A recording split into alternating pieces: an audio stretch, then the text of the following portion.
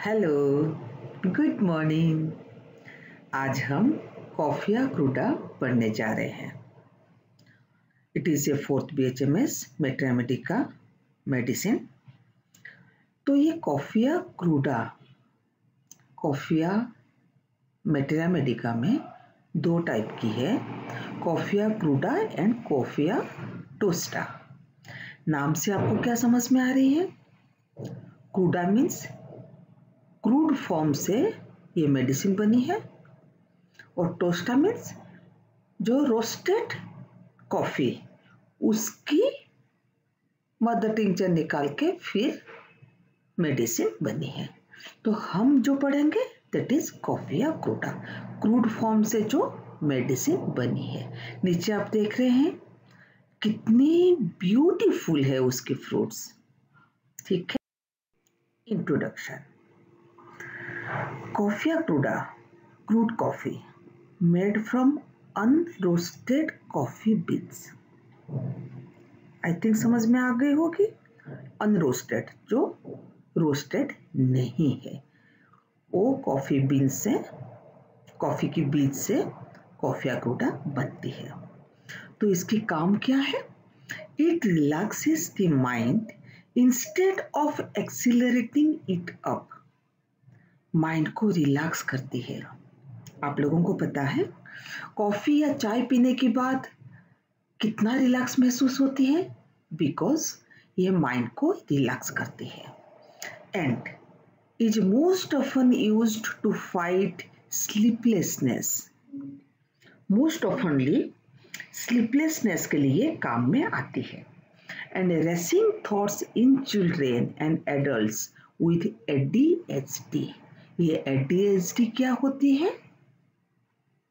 Attention deviated hyper active disorder जो बच्चे या एडल्ट बहुत हाइपर एक्टिव हैं, उनकी केस में it is a very good medicine और क्या है? Coffea cruda relaxes the stress related symptoms हम स्ट्रेस को रिलीव करने के लिए कॉफिया चाय लेते हैं चाय में भी कैफीन है। ठीक है? वो जो कैफीन है और टेनिक एसिड है, जो कैफीन है, वो कैफीन ही हमें रिलैक्स करती है।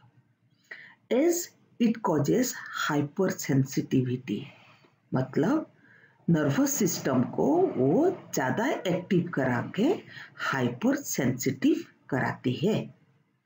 नर्वस पियर्सिंग हेडेक, जैसे सर पे चुभ रहा है ऐसे दर्द होता है and of course sleeplessness due to an over active mind and excitement तो इसमें से आपको समझ में आ रही होगी कि ये किसके ऊपर काम करती है? नर्वस सिस्टम जिसके हिसाब से ये ओवर एक्टिव कराती है. स्लीपलेसनेस तो कॉफ़ी ज़्यादा लेने की वजह से नींद नहीं आती. क्यों? कि माइंड को ज़्यादा एक्टिव कराता है और नर्वस सिस्टम को एक्साइटमेंट कराता है। पैथोजेनेसिस अभी वही चीज़ हम पढ़ेंगे। Coffea cruda. Stimulates the functional activity of all organs सारे ऑर्गन की फ़ंक्शंस को वो बढ़ा देती है। स्टिमुलेट्स मतलब बढ़ा देती है। Increasing the nervous and vascular activity ठीक है, और क्या करता है? Causes great nervous anxiety and restlessness brain को एक्टिव ज़्यादा कराती है, इसी वजह से great nervous anxiety and restlessness कराती है। Extreme sensitive to all the external stimuli क्योंकि all the functional activity of all organs को वो बढ़ा देती है। तो इसी वजह से over sensitive to all the external stimuli नक्सबोन जैसा एकोनाइट जैसा। न्यूरल्जिया इन वेरियस पार्ट्स बार बार बोलती हूँ, बोल रही हूँ कि नर्वस एक्टिविटी को बढ़ाती है तो नर्वस एक्टिविटी अगर बढ़ती है तो क्या होगा? हाइपरस्टेसिया हाइपरस्टेसिया सेंसिटिविटी बढ़ जाएगी और पेन बढ़ जाएगा। तो neuralgia in various parts always with great nervous excitability and intolerance of pain. ये हाइपरस्थेसिया और न्यूरोलजिया की वजह से causes intolerance of pain drive to despair जैसे पागल हो जाए दर्द की वजह से, इतना ज़्यादा होगा। Unusual activity of mind and body सारा फंक्शनल एक्टिविटी बढ़ाने की वजह से नर्वस सिस्टम और ब्रेन की एक्टिविटी बढ़ाने की वजह से, ये ज़्यादा फिजिकली और मेंटली एक्टिविटी बढ़ाएगा। ये उसकी स्ट्रॉन्ग पैथोजेनेसिस से प्लीज़ याद रखना। Sphere of action mind nervous system and other system of the body but mainly mind and nervous system exam में इसकी माइंड बहुत इंपॉर्टेंट है। उसके साथ साथ nervous constitution coffea is specially suited to किसको? टॉल लीन थीन लीन मतलब पतले लोग। टॉल लीन थीन स्टूपिंग जो आगे की तरफ़ झुके हुए रहते हैं। Tall lean thin stooping person with dark complexion ये डार्क कम्प्लेक्शन पर्सन को ज़्यादा स्वीटेड होती है। एसोसिएटेड विथ क्या होगा?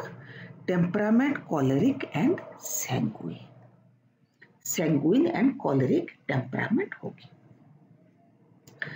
R H C chilly patient ये बहुत इंपॉर्टेंट है, याद रखना।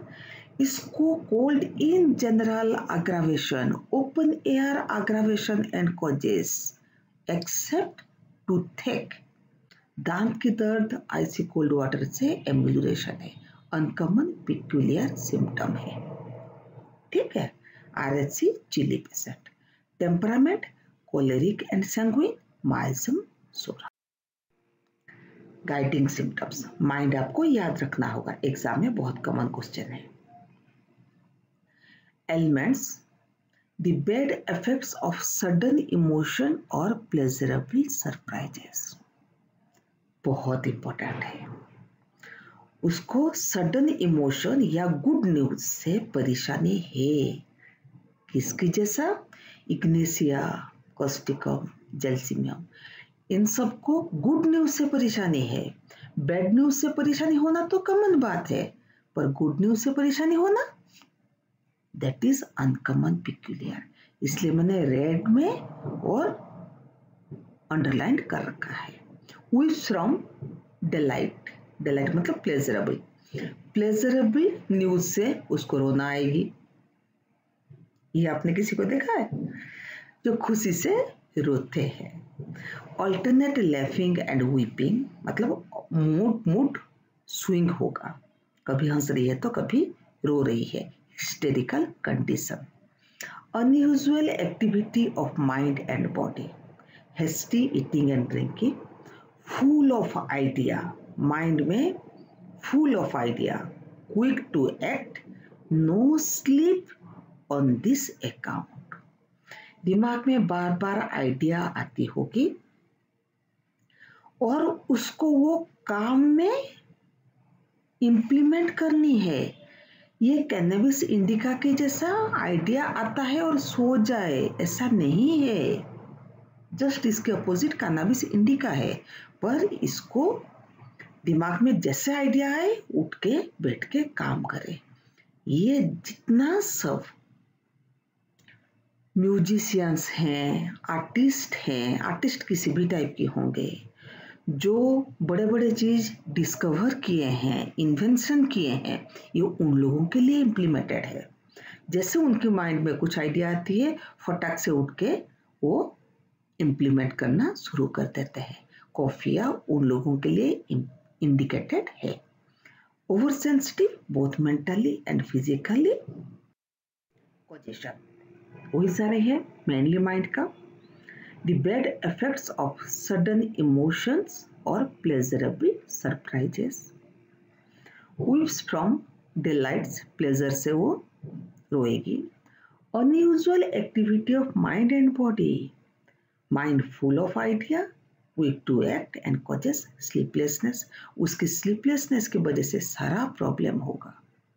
आप सोचो, अगर आपको नींद एक, दो दिन, तीन मतलब नहीं आए तो क्या प्रॉब्लम रहती है? हमें परेशानी रहती है ना?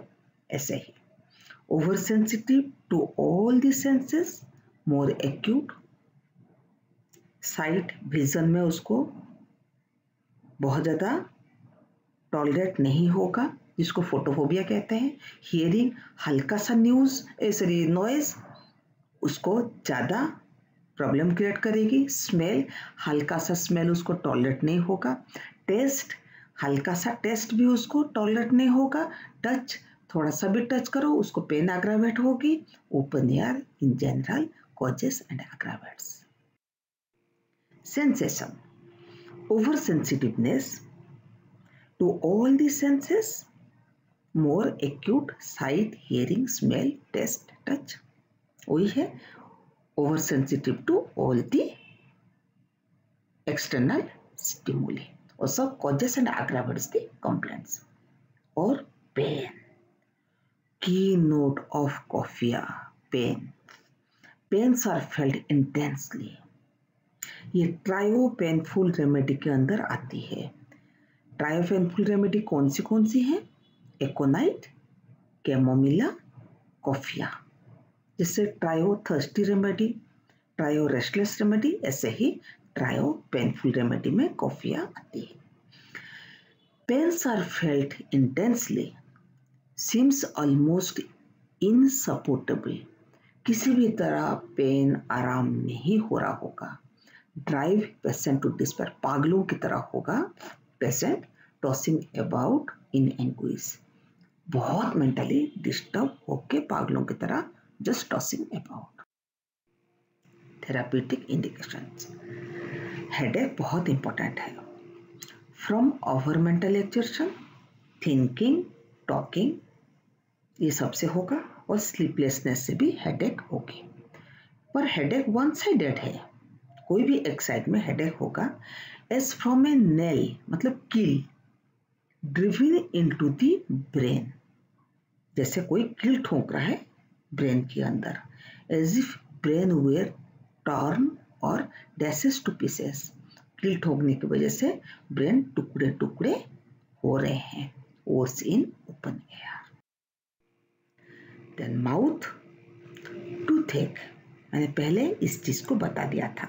Intermittent jerking, relieved by holding icy water in mouth but returns when water become warm.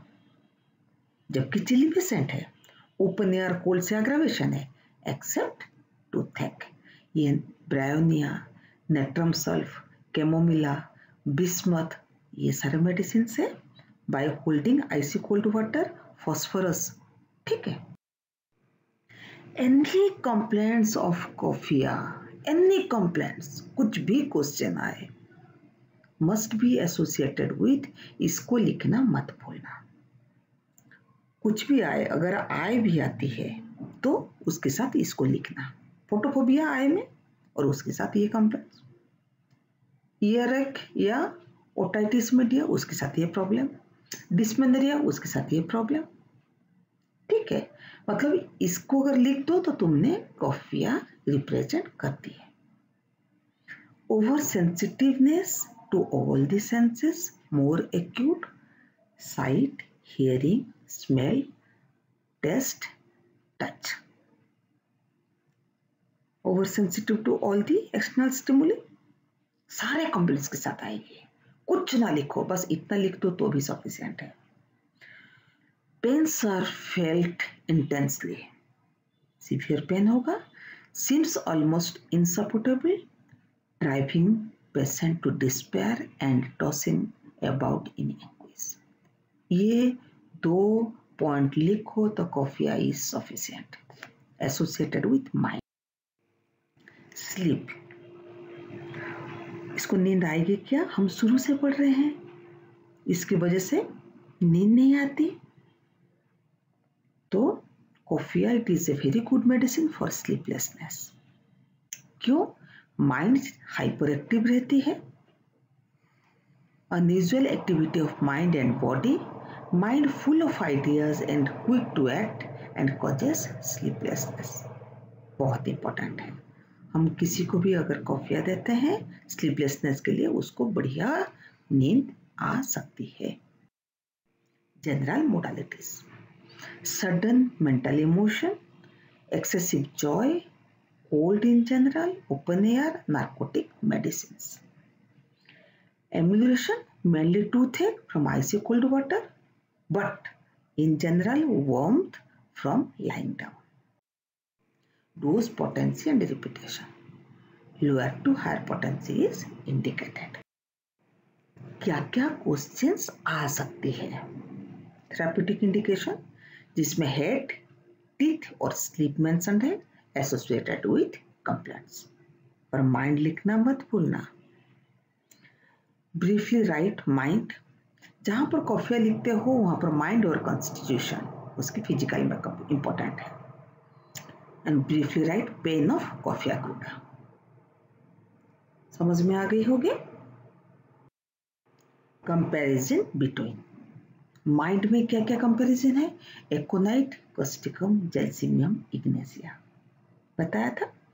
Pen में aconite, belladonna bismuth bryonia, chamomilla hepar sulph opium and pulsatilla बहुत ही इम्पोर्टेंट मेडिसिन है। छोटा सा है इम्पोर्टेंट है और एक बात आपको पता है इट इज़ यूनिवर्सल एंटीडोट हम किसी को अगर होम्योपैथिक मेडिसिन प्रेस्क्राइब करते हैं तो उसको बोलते हैं कॉफ़ी मत लेना। क्योंकि कॉफ़ी लेने से एंटीडोट हो जाती है। अगर कोई होम्योपैथिक मेडिसिन अग्रावेट हो गया और वो पेशेंट तुमसे दूर है, उसको मेडिसिन हमने एंटीडोट करने के लिए नहीं दे पाए। तो सिंपल से एक बात बता सकते हैं। ब्लैक कॉफ़ी बना के गरम गरम पी लो तो एंटीडोट हो जाएगी। यह बहुत इम्पोर्टेंट चीज़ है। प्लीज़ याद रखना। Thank you so much God bless you all bye